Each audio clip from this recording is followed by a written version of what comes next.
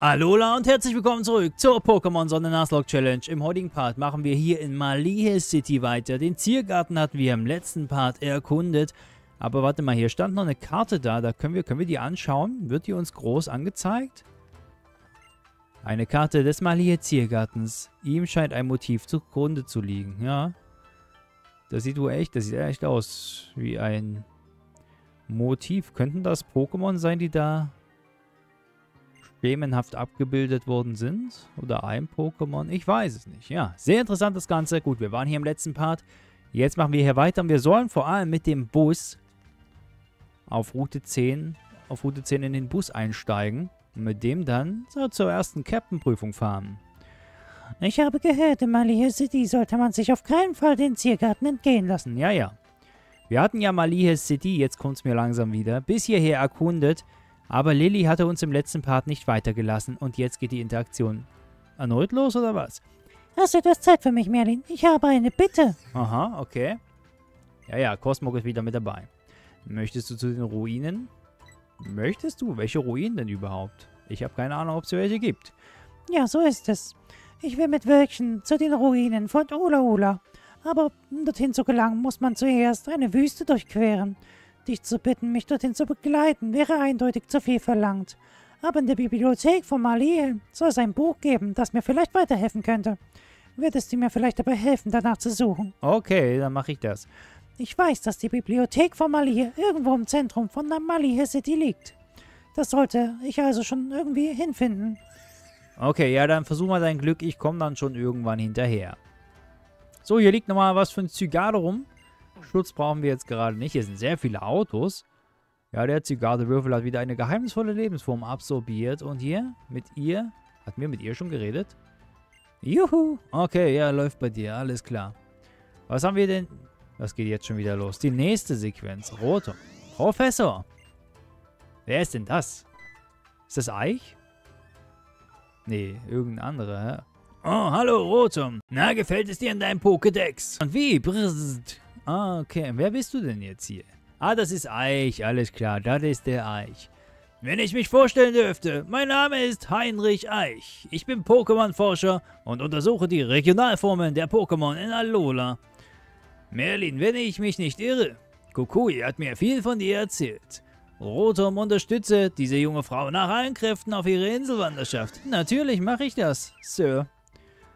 Und du musst mir versprechen, dich gut um Rotom zu kümmern, Merlin. Sein Erfinder, ein junges Genie aus Carlos, ist schon sehr gespannt, wie sich der Rotom-Pokédex auf deiner Reise schlägt. Du findest mich in der Bibliothek von Malie, wenn du mich brauchst. Zur Bibliothek kommst du, wenn du den Mustern auf der Straße in diese Reihenfolge folgst. Schwarzer Kreis, schwarzes Dreieck und schließlich schwarzes Viereck. Ja, da wir aber ohnehin die ganze City erkunden, würden wir da wohl hinfinden, ne? Dort müssen wir auf jeden Fall rein, alles klar. Oder finden wir die Bibliothek dann nur, wenn wir das Rätsel gelöst haben? Ich weiß es nicht. Was ist hier? Hier ist Eingang versperrt von einem Makuhita Pappaufsteller oder sowas. Na gut. Wir schauen. Ist doch ein bisschen größer die Stadt, oder? Hör gut zu, junge Dame. Über Sofortlink kannst du dich auf der Stelle mit Spielern in der Umgebung verbinden. Wenn allerdings viele Leute in deiner Nähe sind, weißt du nicht, mit wem du dich verbunden, mit, mit wem du verbunden wirst, ja? Alles klar. So, was ist hier? Kann ich das lesen? Nein, das geht nicht. Aber wir können reingehen. Was gibt's hier drinne? Ah, wieder so ein Café, so Malasadas oder was gibt's hier zu kaufen?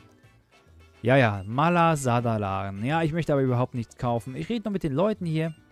Ist ein Pokémon einmal satt, ist es auch keine Malasadas mehr, egal wie lecker sie aussehen. Ich bin da leider nicht so vernünftig, aber so bin ich nun mal.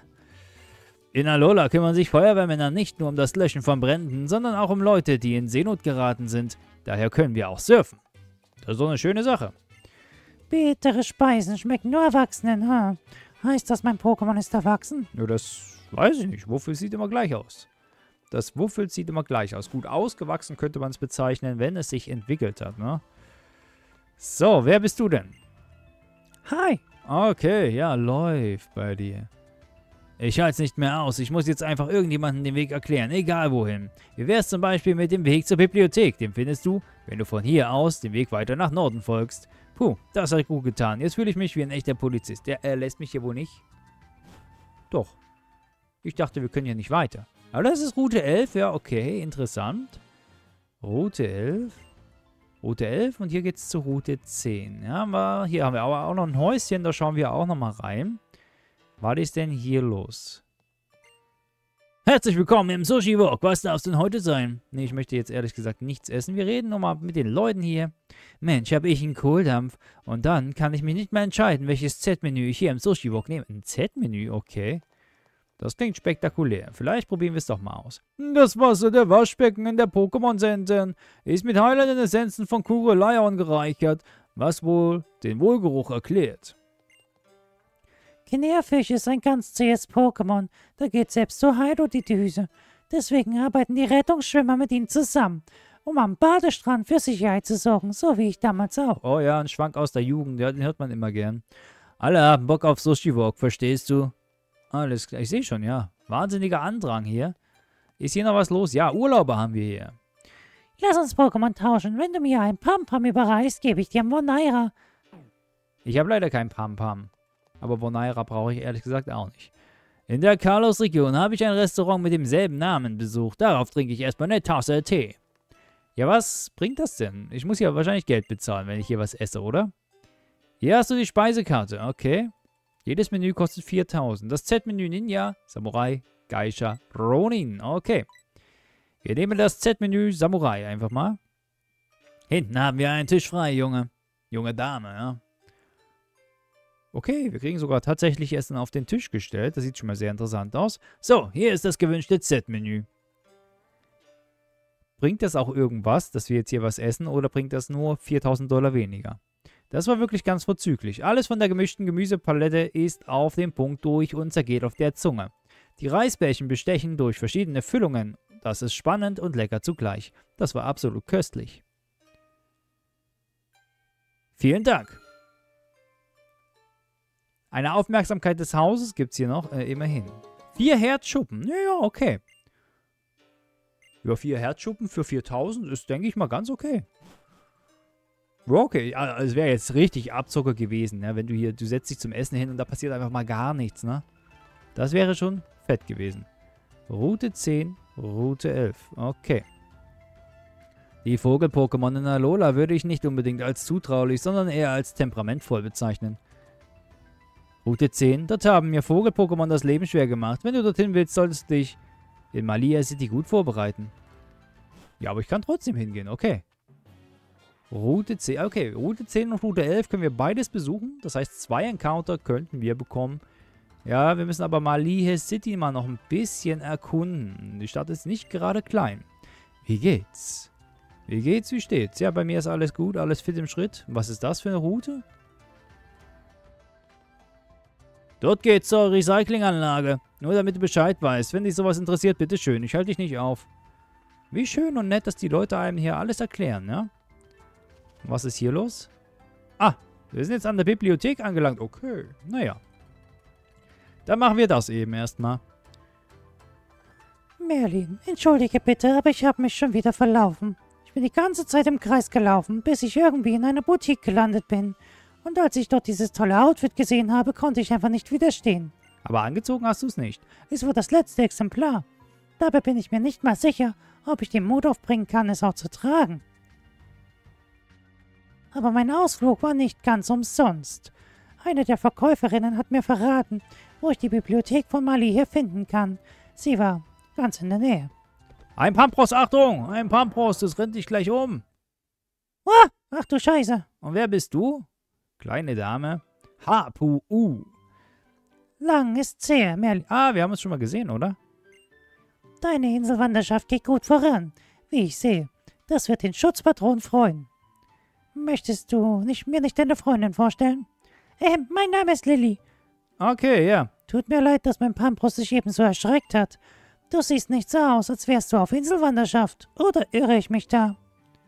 Nein, nein, ganz gewiss, das ist richtig, ja. Ich interessiere mich nur für die alten Ruinen, weil, nun ja, ich habe meine Gründe eben.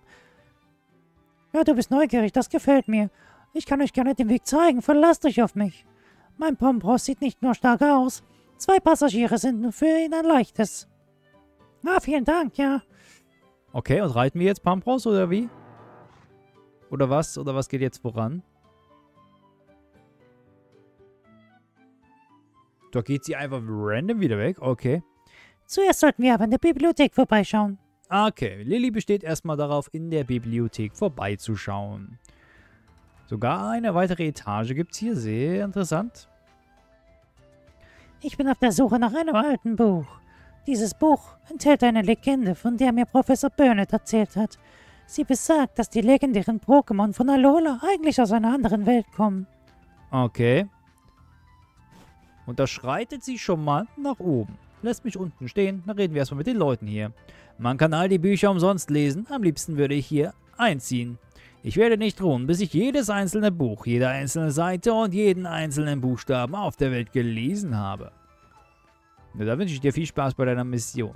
Mission Impossible haben wir hier. Und was kann man bei dir tun? Die Bücher in der Bibliothek von Mali stehen jedem frei zur Verfügung. Das klingt doch sehr nett. Daheim in Johto benutzen wir einfach die Attacke Fliegen, um von einem Ort zum anderen zu gelangen. Stimmt es, dass es in Alola nicht erlaubt ist? Ach wirklich? Ich weiß es nicht. Oh ja, ich habe richtig Ärger bekommen, als ich es versucht habe. Angeblich verstößt es gegen das Gesetz. Aber wie fliegt ihr denn in Alola dann? Ja, auf Glurak. Was? Ihr trainiert extra Glurak, damit ihr auf ihnen reiten könnt? Das ist irgendwie seltsam, aber gleichzeitig auch ziemlich cool. Jetzt weiß ich schon viel mehr über Alola. Hier, vielen Dank.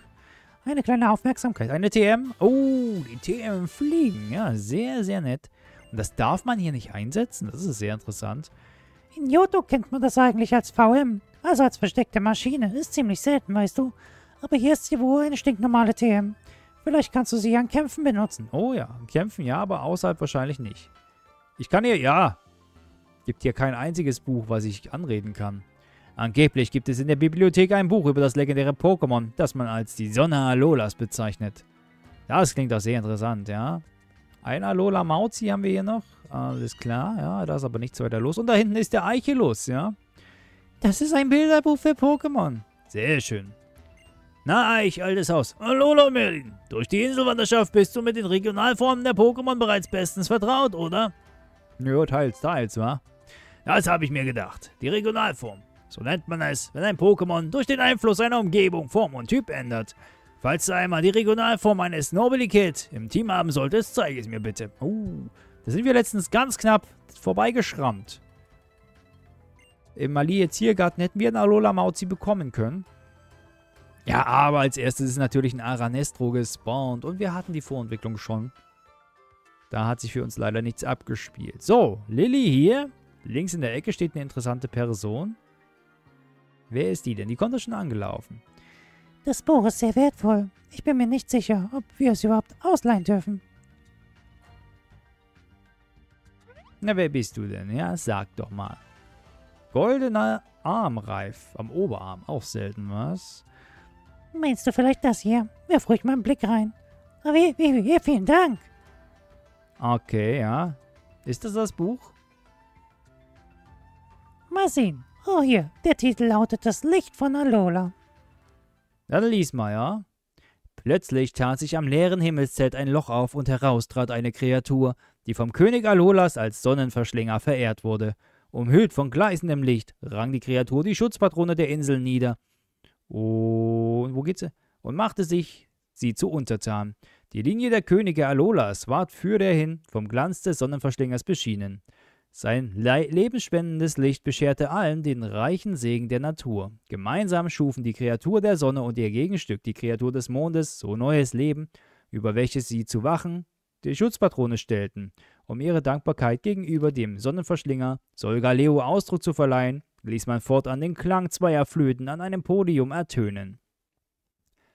Alles klar, sehr interessant. Der Sonnenverschlinger Solgaleo. Spannend, oder? Die Bücher meines Vaters sind alle so mitreißend. Ich bin übrigens Lola. Lola? Aha. Wie, wie bitte? Aber wie kommt es, dass dein Vater solch ein altes, wertvolles Buch besitzt? Tja, man sieht es mir vielleicht nicht an, aber ich stamme von einem alten, ziemlich beeindruckenden Volk ab. Okay. Das Buch muss leider in der Bibliothek bleiben, damit es nicht vom Pokémon angeknabbert wird. Ich kann euch noch viel mehr über die Legenden Alolas erzählen. Oh, äh, äh, das freut mich zu hören. Vielen lieben Dank. Ich glaube, ich bleibe noch eine Weile hier. Auf dich wartet die nächste Prüfung, richtig? Ich meine, In einem meiner Bücher stammt, dass die Prüfung vom Typ Elektro auf Ula Ula nur über einen Bus von Route 10 aus erreichbar sei. Oh, Elektro. Das ist ja wieder Kacke, Alter. Das klingt ja schon wieder richtig kacke. Da müssten wir Route 10 und 11 abklappern und hoffen, dass wir irgendwas Spannendes bekommen. Und wieder können wir nicht zu den Ruinen gehen, aber hier ist immerhin ein Buch. Die Schutzpatrone und die Könige der Urzeit. Die Kapu zogen schon für die frühen Könige der Inseln an vorderster Front ins Gefecht. Es heißt, die mit Z-Kraft geführten Kämpfe hätten auf den Inseln so schlimme Verheerungen angerichtet, dass die Kapu den Menschen ihre Kräfte fortan nicht mehr zur Verfügung stellten. Mhm. Du bist auf Inselwanderschaft, stimmt's? Von hier aus kommt man recht schnell zur Prüfung am Hokulani-Berg. Man kann die Prüfungsstätte aber nur mit dem Bus erreichen, der von Route 10 aus fährt. Okay, sehr interessant. Hier sind einige Bücher, die wir lesen können. Die Schutzpatrone und die Inselkönige. Die Kapu erwählen die Inselköniginnen oder die Inselkönige ihrer jeweiligen Lebensräume, indem sie ihnen spezielle Glitzersteine anvertrauen. Nach welchen Kriterien sie dabei vorgehen, bleibt für uns bis heute ein Mysterium. Die Schutzpatrone der Inseln. Die Kapu verbringen ihre Zeit für gewöhnlich fest eingeschlossen in ihren Schalen und absorbieren dabei die Energie der Natur. Ihre mit Energie gespeisten Schalen sind mit den Jahren ganz hart und robust geworden. Und hier haben wir das legendäre Pokémon und die Schutzpatrone der Inseln. Das legendäre Pokémon und die Kapu lieferten sich einen verbissenen Kampf, aus dem kein Sieger hervorging. Es heißt, das legendäre Pokémon habe den Kapu daraufhin geheimnisvolle Kräfte zuteilwerden lassen. Aha, interessant. Man muss schon... Man muss erst schlechte Bücher gelesen haben, um gute erkennen zu können. Ja, das war der Satz des Abends, wa? Der Mensch ist ein Gewohnheitstier, das nach festgelegten Mustern lebt. Dabei sollte man mit offenen Augen durchs Leben gehen. Ah ja, sehr interessant. So, schöne Sache hier, die Bibliothek. Aber wir sind jetzt hier erstmal fertig, gehen wieder raus. Aber Malihe City bietet schon noch einiges mehr. So, hier waren wir. Hier geht es zur Recyclinganlage. Hier können wir noch die City, die Hut anschauen. Hier, schöne Pokémon. Was ist hier? Ein bisschen Holz oder Teeträger? Ein paar Teeträger oder was? Man weiß. Hier Dreieck. Äh, hier ein Dreieck auf dem Boden. Hier können wir nicht reingehen. Ein bisschen schwierig, den Überblick hier zu behalten. Können wir hier hinter? Nein, hier geht es auch nicht dahinter. Okay. Schauen wir mal, ja. Wo können wir denn noch was hier, das sieht aus, das ist ja die Boutique, oder? Der hatte sich wohl Lilly verlaufen, verirrt. Wir reden mal mit den Leuten hier. Was ich tragen will, steht mir meist nicht. Und was mir steht, will ich meist nicht tragen. Na, dann geh doch nackt. Das ist wohl die beste Lösung. Äh, entschuldige, aber dürfte ich dich um etwas bitten? Na klar, was denn? Vielen, vielen Dank. Das ist zu nett von dir. Ich sag's einfach frei heraus. Ich bin total Fanat in ein Pokémon namens Togedemaru. Ich muss nur daran denken und schon fange ich am ganzen Körper an zu zittern. So schaffe ich es nie, mir eins zu verfangen. Würdest du vielleicht eins fangen und mir sein Pokédex zeigen? Beim Erdwärmekraftwerk sollte es einen Togedemaru geben. Du erkennst sie an ihren süßen, spitzen Stacheln. Wenn du es schaffst, bekommst du natürlich auch eine Be Be Belohnung von mir. Viel Erfolg. Alles klar. Ein Togedemaru. Beim Erdkraftwerk, sagte er, glaube ich. Das ist viel zu schlicht, so wirkst du viel zu alt. Nimm dir doch mal ein Beispiel an Slimer und trage eine etwas auffälligere Farbe. Das ist eher seine Hautfarbe und keine Kleidung, oder? Überlasse ich meiner Frau die Kleiderwahl, gibt's wenigstens keinen Streit. Du hast da auch etwas, ne? Geben und Nehmen ist das. Kleidung, die nur existiert, damit sie schmutzig wird, so ein Overall hat's eben auch nicht leicht. Naja, aber er erfüllt seinen Zweck, oder? Das kann man doch nicht abstreiten, ne? Was haben wir hier? Auch noch. Der Haarschneider ist hier nochmal. Das Pudel-Pokémon mit dem zotteligen Fell sieht man in Alola überhaupt nicht.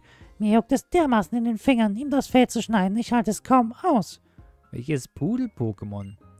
Mit meiner neuen Frisur fühle ich mich wie ein neuer Mensch. Leider sieht sie unter meiner Mütze bloß niemand. Naja, macht doch nichts. Hauptsache du weißt, dass sie da ist. Das ist alles, was zählt. So, in der Straße waren wir. Jetzt gehen wir hier weiter runter. Hier geht es wieder raus. Und hier können wir aber wieder irgendwo reingehen. Was ist denn das für ein La? Ne, hier waren wir drin, oder? Der Sushi-Wok war das hier. Hier waren wir drin. Im Sushi-Wok waren wir drin. Okay. Das war der Malasada-Laden. Hier ging es nicht rein. Schauen wir mal, haben wir irgendwas verpasst? Ne, das war die Boutique. Da haben wir eigentlich alles, so ziemlich alles von Malihe City gesehen, oder? Oh, ich bin mir eigentlich ziemlich sicher. Wir haben jetzt hier sehr viel oder alles gesehen. So, hier oben gibt es nichts. Wir sehen ein bisschen was vom Meer. Ja, wir, sind noch, wir haben noch ein bisschen Zeit. Dann gehen wir mal zur Recyclinganlage. Malia City Cup am Stadtrand. Und hier gibt es auch noch einen Encounter. Sehr schön. Aber wir kämpfen erstmal hier mit dem Meister. Sauberkeit geht über alles. Als Hausmeister ist selbst meine Art zu kämpfen völlig sauber. Hm. Und clean, ja. Keine Steroide und so dabei. Da schauen wir mal. Der Hausmeister Melke mit zwei Pokémon. Ja, wir haben nur noch vier Pokémon, mit denen wir aktuell kämpfen können, weil zwei sind eigentlich zu schwach, ne? Aber richtig schwach. Unter Level 20, glaube ich. Unra Tytox auf 26 ist ein Gift-Pokémon. Wäre jetzt Psycho was Feines. Oder aber wir machen erstmal einen Step Nassschweif und schauen mal, wo der uns hinführt. Garados ist ja ein stabiler Typ, der gut austeilen kann. Und das ist ein One-Shot. Das kann man doch echt so stehen lassen. Sehr, sehr schön. Aber der Malcolm hat noch ein zweites Pokémon. Und es ist ein Unra Tytox auf Level 27. Auch hier der Nassschweif auch reicht. Das ist jetzt, glaube ich, ein Level stärker als das vorherige, oder? Ah, ganz knappe Geschichte, du. Ganz knappe Geschichte. Es hortet etwas, aber da es wahrscheinlich nur noch ein KP oder sowas hat, sollte auch der Biss genügen. Genau, genau. Das reicht. Haben wir den Malcolm besiegt. Ich bin jetzt echt gespannt, ob wir jetzt einen coolen Encounter bekommen.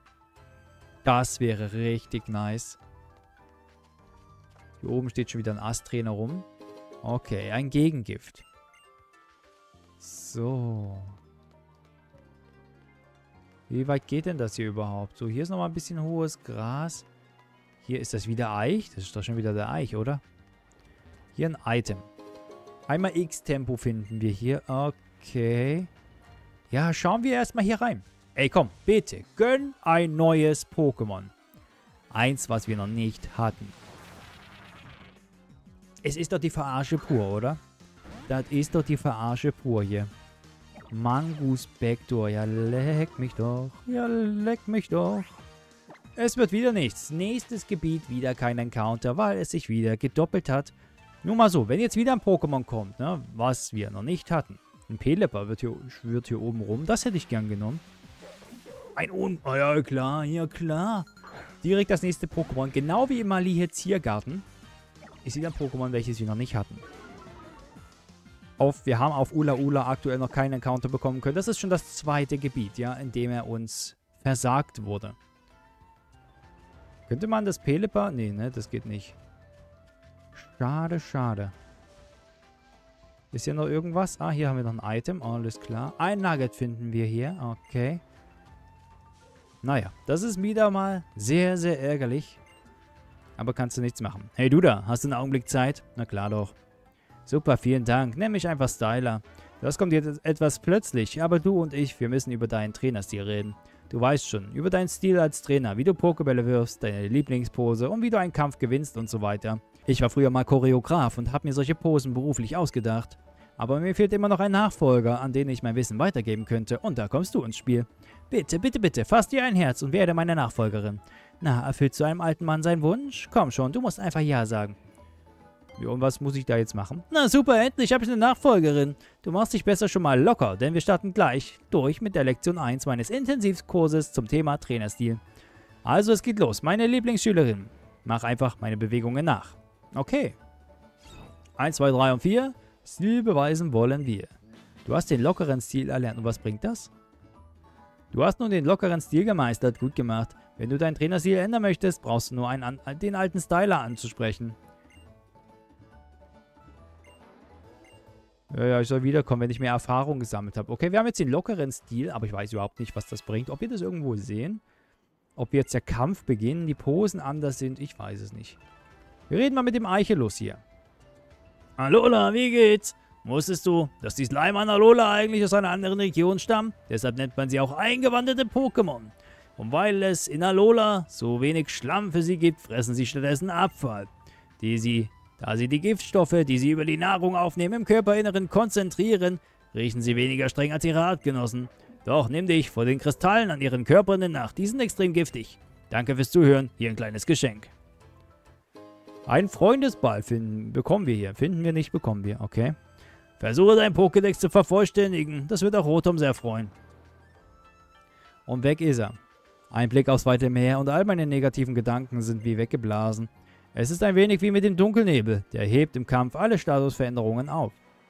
Ja, wir sind hier an der Mülldeponie und was kommt ein Manguspektor? Wir hätten hier wahrscheinlich auch einen Slimer bekommen können oder sowas, ne? Wenn jetzt ein Slimer kommt, ne, dann weißt du Bescheid. Nee, es kommt nochmal ein Manguspektor. Das nervt aber sowas von. Warum doppeln sich die Pokémon immer so stark? Es waren jetzt schon verdammt viele Routen dabei den wir keinen Encounter bekommen hatten. Ne? Es wird langsam echt viel und wird auch echt nervig, zumal wir erst 15% vom Mele-Mele-Decks gefüllt haben und von den anderen brauchen wir jetzt erstmal gar nicht reden. Da ist es ja noch weniger. Einen Ass-Trainer haben wir hier. Okay, was geht denn jetzt schon wieder ab? Gut, das reicht. Ab nach Hause.